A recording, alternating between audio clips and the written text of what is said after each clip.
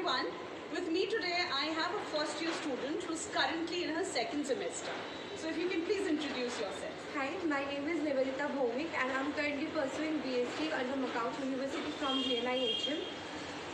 All right. So now, now that you're in your second semester, which subjects do you think you're enjoying the most? Uh, I'm enjoying more the front office subject because as I'm interested in airlines, that's why I'm enjoying the front office subject really.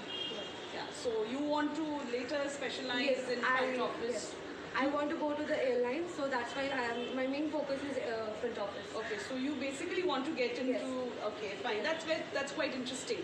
Okay, now do you think uh, you know this institute is preparing you well when you think about grooming and communication because that is very important Yes, if like- you want to excel in the you know Like service uh, in this industry, uh, the grooming plays a very huge role.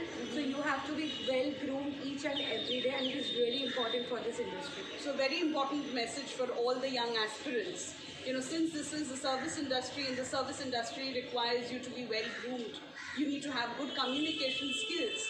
So this institute will prepare you, you know, wholeheartedly so that you know you have a pleasant personality and you get the job that you want. To. Thank you so much for talking to us. Thank you. Thank you.